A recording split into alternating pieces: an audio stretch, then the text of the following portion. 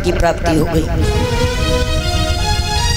जब तक मैं अपनी प्रजा की कमाई दान करता रहा, तब तक कुछ नहीं मिला। लेकिन आज अपनी मेहनत की कमाई दान की तो मुझे पुत्र रत्न की प्राप्ति हुई। ब्राह्मणों के द्वारा जब नामकरण संस्कार हुआ तो बोले, इस बच्चे का नाम रखने की कोई ज़रूरत नहीं है। क्यों? क्योंकि इस बच्चे का नाम उसी दिन रख गया था, जिस दिन इसका जन्म हुआ था। बोले, कैसे? बोले, ये दसवें रथ से पैदा हुए, इसीलिए इनका नाम पड़ जाएगा दस रथ दस रथ। और एक बात, जिसकी दसों इंद्रियाँ बस में हो, पाँच ज्ञान इंद्रियाँ, पाँच काम इंद्रियाँ, उसे भी दशरथ कहते हैं। और जिसका रथ दसों दिशाओं में जाता हो, उसे भी दशरथ कहते हैं। दिशाएँ कितनी है लोगों? चार दिशाएँ तो सब जानते हैं पूर्व पश्चिम, उत्तर, दक्षिण, लेकिन दस दिशाएँ हैं। दस। एक एक इनके कोने पे लगी हुई महाराज परीक्षित ईशान, कृषाण, ऐसे करके, और एक ऊपर, एक नीचे, ये भी दिशा, दस दिशाएँ हैं। महाराज दशरथ का नामकरण संस्कार हुआ, ये बहुत बड़े प्रतापी राजा बनेंगे, बड़े बलवान बनेंगे।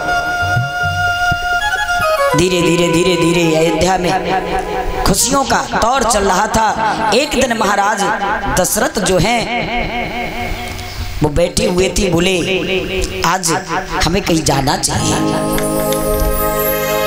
तब तक क्या देखा? कि महाराज, दशरथ की तरफ़ महाराज अज ने देखा कि बेटा, अब तुम सयाने हो गए हो और मेरा भी काम भगवान का भजन करना। अब तुम्हारी मैं शादी करा दूँ, उसके बाद फिर यहाँ का राजपाट संभालना, मैं तो जाऊँगा वन बिहड़ में तपस्या करने के लिए। तो महाराज, दशरथ की पहली शादी महाराज भानुमंत की बिटिया कौशल्या से तय हुई। कौशल्या के साथ में। जब कौशल्या के साथ में शादी तय हो गई। इधर महाराज दशरथ बारात लेकर के कौशल देश के लिए प्रस्थान करते हैं। इधर दशानन ने ब्रह्मा जी से पूछा, ब्रह्मा जी, हमारी मौत कैसे होगी? बोले, तुम्हें महाराज दशरथ के अंश से जो पुत्र पैदा होगा, वही मारेगा।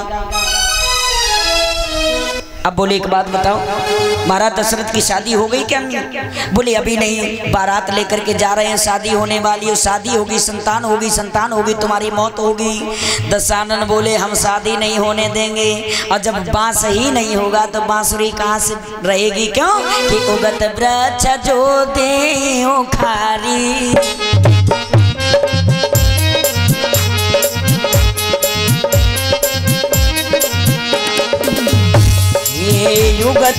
वृक्ष जो ते उखारी, उगत वृक्ष जो। अरे ते उखारी, कड़वे फल नहीं लगे अनारी, कड़वे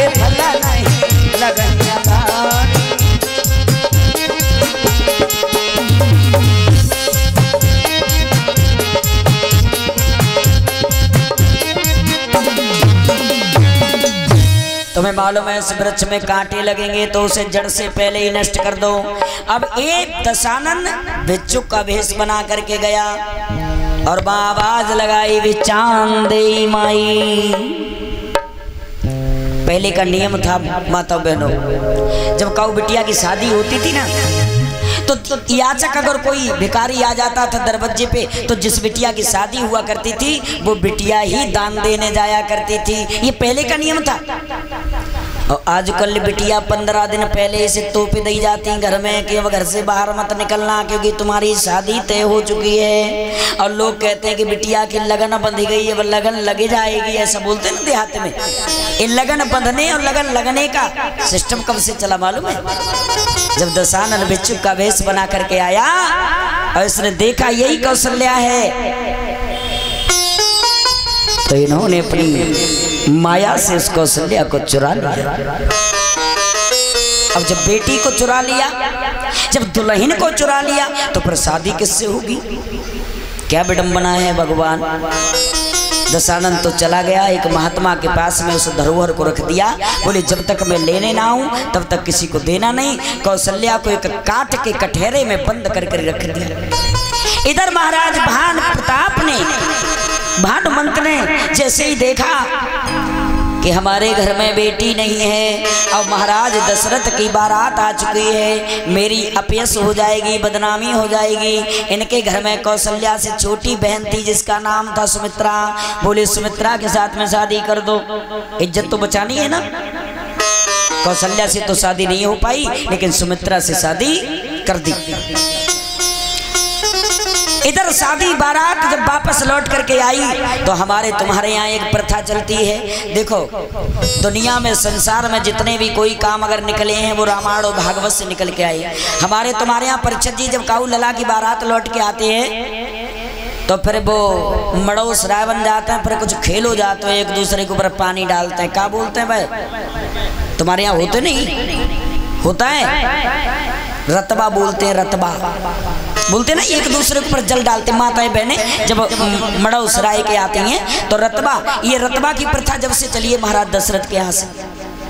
हाँ। अब वो रतबा जब चालू हुआ, महाराज दशरथ अच्छे वस्त्र पहने थे। वहाँ से निकल करके सरयू की तरफ़ चलने लगे और नाव पे सवार होकर के जब सरयू के भ्रमण करने लगे, लेकिन भगवान के जहाँ प्राकट समय था, वो जगह थी, उसको देखने के लिए सरयू में उबाल आ गया, सारी नदियाँ प्रवाहित हो गई, बाढ़ आ गई।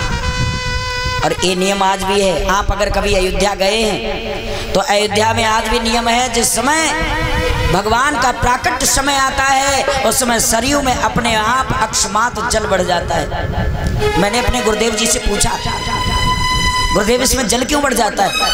बोले, ये सारी नदियाँ मिलकर के भगवान के प्राकट का समय और दर्शन करने आती हैं। इसलिए जल बढ़ जाता है। याद, मैंने देखा है आँखों से, मैं छह वर्ष अयोध्या रहा हूँ।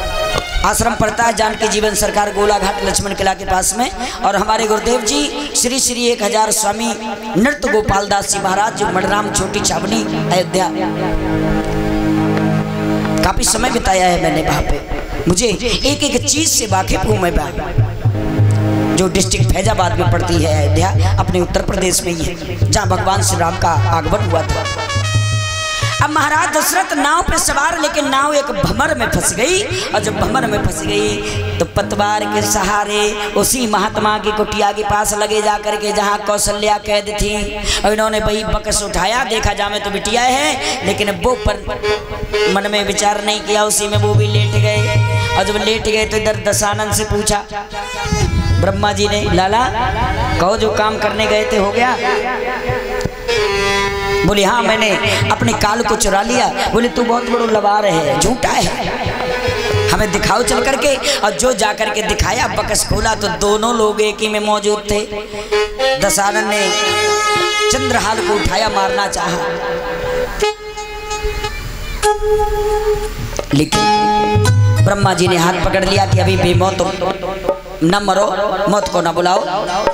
दशानंद तो लंका की तरफ़ जाते, इधर ब्रह्मा जी ने अपने हाथों से कौशल्या और दशरथ की शादी करवा दी। अब दो विवाह हो गए। तीसरे विवाह की बारी, एक बार महाराज दशरथ शिकार खेलने के लिए गए और शिकार खेलते खेलते क्या देखा कि एक सामने मृग है? उस मृग को मारने के लिए निशाना साधा, तब तक एक सफ़ेद कांति उस पर सवार एक राजकुमार ने उस हिरण को मार लिया और उसने उस हिरण को रखा और चल दिए। अच्छा एक बात और नहीं बता दो। राजा लोग हिरण को क्यों मारते थे?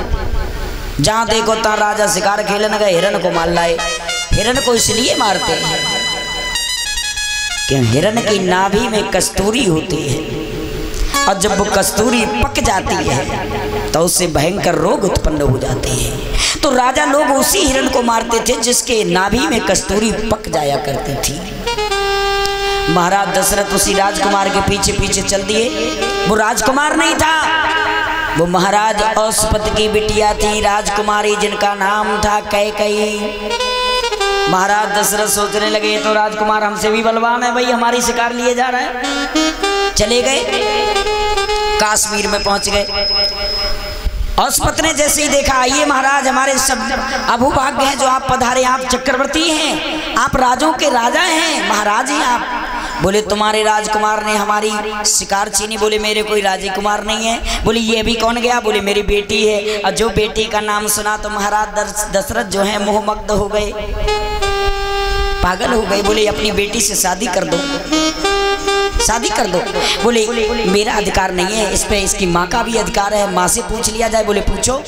जब माँ से पूछा गया तो माँ ने कह दिया कि मैं शादी तो कर दूँगी, लेकिन मेरी बिटिया के गर्भ से जो लला पैदा होगा, वो अयोध्या का राजा बनेगा। अगर राजा बनाओ तो शादी के लिए तैयार, राजा नहीं बनाओगे तो हम शादी नहीं करेंगे। महाराज दशरथ नहीं सोच समझ पाए और उन्होंने हाँ कर दिया। तो औसपत ने मैया केकई के साथ में भी शादी कर दी। इनके साथ में दासी मंथरा का भी पदार्पण हुआ था। अब इनके विवाह हो गए और विवाह होने के बाद में अब महाराज दशरथ जो थे, आँगन में रह रहे इधर अजने देखा। क्या देखा? कि एक दिवस अचानक राजा ने ये हमारे पास दान आया है।